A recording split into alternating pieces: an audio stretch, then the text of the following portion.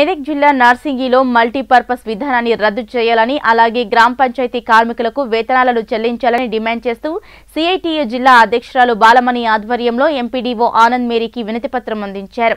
ఈ సందర్భంగా ఆమె మాట్లాడుతూ ఎన్నో సంవత్సరాలుగా గ్రామాలలో మురికిని శుభ్రం చేస్తున్న పారిశుద్ధ్య కార్మికులపై ప్రభుత్వం నిర్లక్ష్య ధోరణి మార్చుకోవాలని హెచ్చరించారు.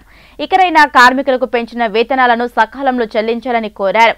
ఈ కార్యక్రమంలో గ్రామ పంచాయతీ కార్మికులు పాల్గొన్నారు. రోజు నార్సింగ్ మండల్లో ఎంపీడీఓ గారికి గ్రామ పంచాయతీ కార్మికుల సమస్యలు పరిష్కరించాలని మల్టీ పర్సెస్ను ఎత్తివేయాలని చెప్పి మరి వినతిపత్రం ఇవ్వడం జరిగింది. మల్టీ పద్ధతిని ఎత్తివేసి ఐదు వేల ఎనిమిది వేల ఐదు వందలు ప్రభుత్వము మరి జీవోతో ప్రక జీవో యాభై ఒకటిని విడుదల చేస్తూ మరి మల్టీ పద్ధతిని తీసుకొచ్చింది. దాన్ని వెత్తేసి ఐ ఎనిమిది వేల ఐదు వందలు వర్కర్స్కు ఇవ్వాలని చెప్పి సిఐటిగా డిమాండ్ చేస్తున్నాం. ఈరోజు మరి ఎంపీడీఓ గారికి ఇచ్చినాం.